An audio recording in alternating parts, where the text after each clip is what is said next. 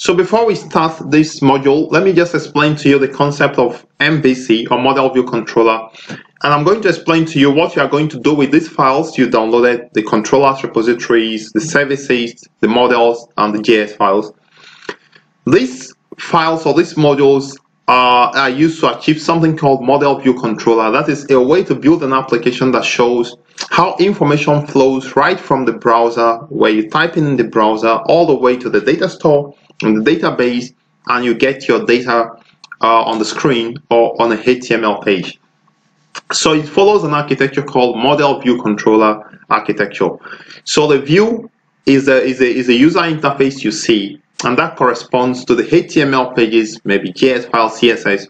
All these correspond to the views, as in what the user sees, uh, that is what we call the view. So let me actually write them where they belong. So here you have the HTML, HTML uh, plus JS plus CSS and every other thing you, are, you use to achieve a user interface. So this is where you have the view right here, the view. So under the view, you now should have the controller. So anytime you go to your browser and enter something in the view, it goes to the controller and this is where you have the controller.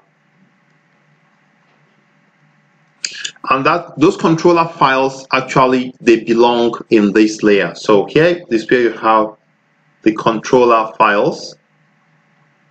And they are actually java files okay?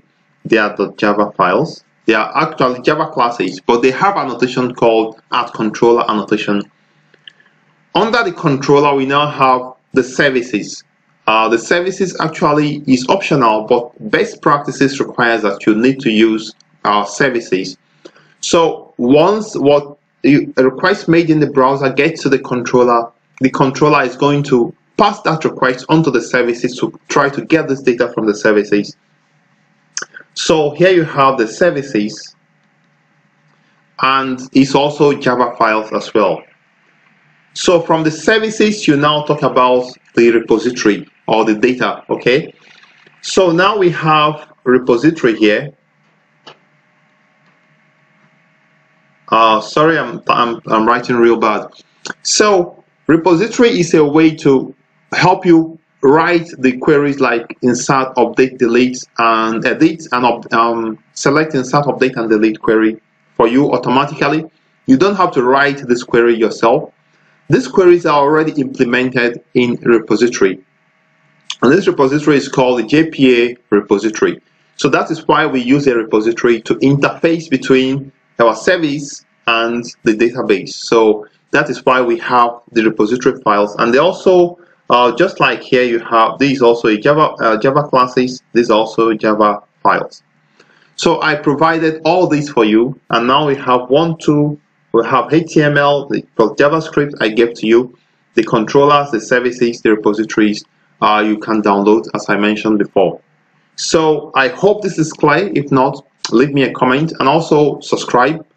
Let's now uh, move to the remaining parts and then let's try to do, do this thing and hopefully you understand if, if not you if you don't understand it clearly please leave a comment for me to let me know where you have your challenges and we are going to be doing the object-oriented design of our application basically I've done this for you. So you simply decide what objects make up the application and also what is the relationship between these objects.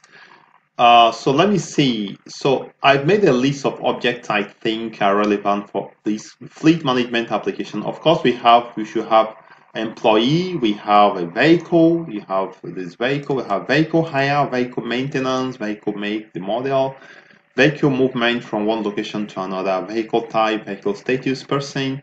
Now, one thing I want you to take note of, there are some uh, classes I've marked as asterisks. Now we have person, it means a person is a superclass where you can inherit other classes from. For instance, a contact is a person and we also have a client is a person, a supplier is a person, and we have an employee is a person. So I have employee is a person as well.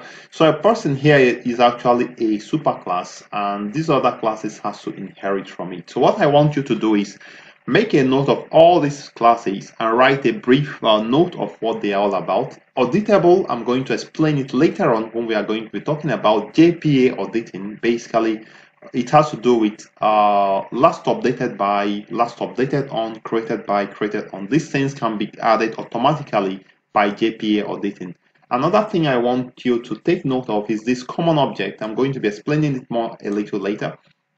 So common object is is a is a superclass where you can inherit things, other things from, for instance, vehicle type, vehicle status, vehicle model make. All these are, are classes that has maybe only two fields, name and description. So we can have common objects that have two fields only, and then you inherit all these other classes from there.